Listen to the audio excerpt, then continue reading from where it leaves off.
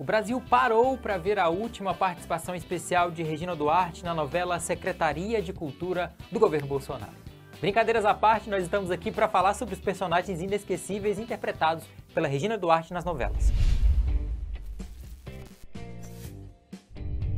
Olá para você que me assiste de qualquer canto, qualquer tela. Eu sou Davidson TV e em parceria com Natalinha, hoje nós vamos mostrar aqueles personagens que quando a gente fala Regina Duarte, a gente automaticamente lembra daqueles personagens icônicos que ela interpretou nas novelas. E a gente vai fazer esse resumão de sete personagens principais aqui nesse vídeo. E a gente já começa no ano de 1988, na novela Vale Tudo, a Regina Duarte interpretava a Raquel e ela descobre que sua filha, Maria do Carmo, interpretada pela Glória Pires, na verdade era uma vilã. Descobre todas as falcatruas dela e decide rasgar o vestido dela antes do casamento.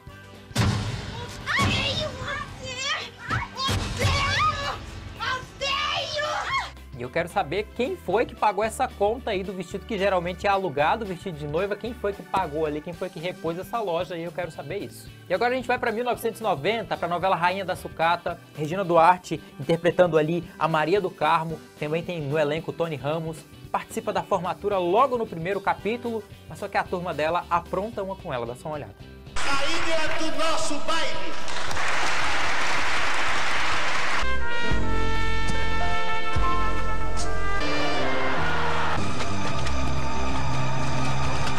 Pero quase que um clichê em algumas novelas o pessoal derrubar alguma coisa gosmenta, alguma lama em cima de algum personagem. A gente já viu isso se repetir em outras novelas também, mas cena icônica é essa. Além também de ser piada até hoje em dia, os alunos colarem alguma coisa nas costas de algum estudante ali para fazer algum tipo de brincadeira. Já que é para viajar, vamos viajar logo para 1972, para a novela Selva de Pedra, onde Cristiano, interpretado por Francisco Cuoco, e a Simone, a Regina Duarte, eles terminam o último capítulo ali que marcou 100 pontos no Ibope.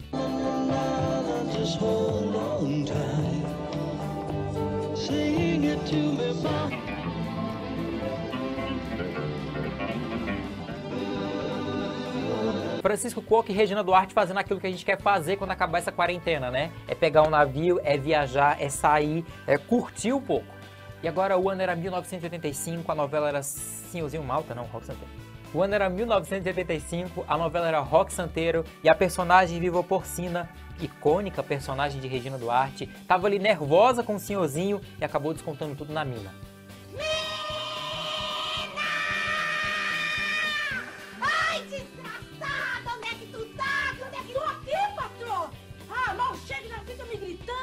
Ele quer me deixar doida e tá conseguindo. Não, meu patrão, a senhora vai ter um troço. Eu já tô tendo e não me interrompe. Está acostumado com esses diálogos em novela, mas sempre a patroa descontando ali na empregada por que, que esses diálogos sempre sobram para a empregada, coitada. E lá em 1979, em Malu Mulher, a Malu, interpretada pela Regina Duarte, discute sobre aborto e também prazer feminino. O que é que vocês querem? Só prazer? Só gozar? Só pra você? E os outros? Eu quero pros outros também. A gente não tem culpa, mas o ser humano nasceu querendo a felicidade, mamãe. E a felicidade é ficar por aí correndo atrás de sexo? Só sexo não, inclusive sexo. Meu prazer de mulher me leva para um outro mundo. É nojeira, coisa de hippie. A vida não é assim, não, Malu? O diálogo aconteceu lá em 1979, mas só que o tema é bem atual também para os dias de hoje. Falar sobre prazer feminino e também sobre aborto. Tem ainda a novela Por Amor, em 1995, onde a Helena e a Rafaela se enfrentam em uma cena icônica. A senhora foi à minha casa e falou com a minha filha de uma maneira que me desagradou profundamente. Eu sinto muito. Eu não fui lá para falar com ela, mas sim com a senhora. Ah, e como a Lioa não estava, a senhora devorou os filhotinhos. O que mais eu posso fazer? Engoli de volta as palavras que deixou lá na minha sala. A senhora está exorbitando. Eu mal lhe conheço e não admito que fale assim comigo. Quer respeito? Mas a senhora não respeita. Larga. Não pronuncie nunca mais o nome da minha filha com a sua boca suja. Pelo amor de Deus, vocês duas estão loucas?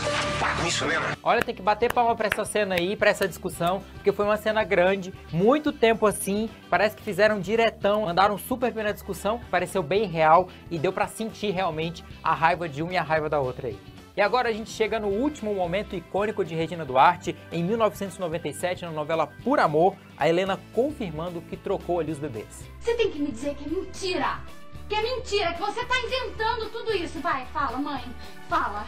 Você quer ficar com meu filho porque você perdeu o seu? Fala, mãe. Fala que é mentira. Fala pra mim, é mentira. Fala, por favor. Não. Não.